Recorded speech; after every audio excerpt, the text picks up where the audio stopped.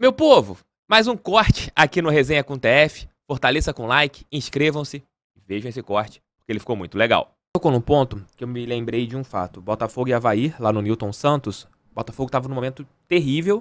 É, o Botafogo perde ali pra, com o gol do Kevin. A única falta que o Kevin acertou na vida foi aquela ali, mas tudo bem. e eu vejo que o Luiz Castro é muito xingado. Aquele jogo talvez tenha sido aquele que ele foi mais ofendido pela torcida do Botafogo. E acaba o jogo e você vai nele conversar com ele. Vocês ficam conversando ali por uns dois, três minutos até que vocês descem juntos ali o vestiário. É, e ali aconteceu um, um, fato. Eu até mesmo falei na minha live pós-jogo. Se o Botafogo fosse um clube associativo, eu dificilmente acharia que o Luiz Castro ficaria. O Luiz Castro seria demitido. E como o Botafogo era SAF, eu falei, olha, por mais que todo torcedor ache que é o momento de demitir o Castro pelos resultados, pelo futebol não estar acontecendo, o dono que vai decidir. E se o dono achar que não, que está dentro do esperado, que a classificação é aquela, ele não vai cair. Quando você viu que aquele momento o Castro seguiu no Botafogo, você ficou com uma esperança para a sua função que, olha, com as SAFs, o trabalho vai resistir à pressão externa, vai resistir a xingamentos e vai resistir a vaias? Eu concordo com você sobre a lógica do processo associativo com a SAF. Esse jogo tem, esse momento que você relatou, ele tem até um, uma coisa que eu gostaria de falar aqui.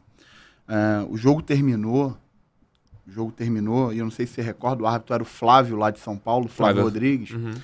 E o jogo terminou com alguns jogadores do Botafogo indo pressionar o Flávio por alguma coisa relacionada a acréscimo. E eu me recordo que o Canu estava próximo de mim, e o Canu estava indo no Flávio, e eu dei um abraço no Canu e falei, pô, não vai lá não, isso aí não vai levar a lugar nenhum e tal.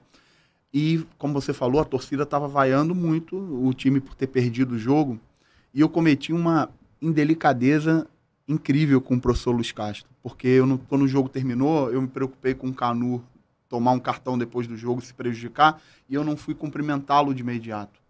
E mesmo com aquele cenário ali de ad, um cenário adverso, o professor Luiz Castro ele foi extremamente elegante, ele me aguardou, ele aguardou eu falar com o Canu e com todo aquele cenário adverso, ele esperou para estender a mão e para a gente conversar.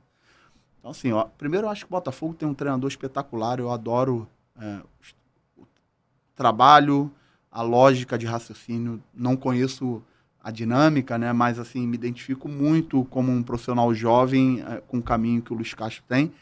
E até aproveito o espaço para me desculpar com ele publicamente, porque ele foi extremamente elegante diante de um cenário adverso ele me aguardou, ele estendeu a mão e ele mostrou o nível que ele tem primeiro como pessoa.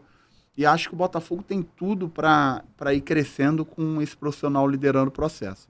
Mas você falou muito bem, eu acho que o processo associativo, naquele momento, como em outros clubes acabam acontecendo, o trabalho acaba tendo uma ruptura pela pressão de fora para dentro.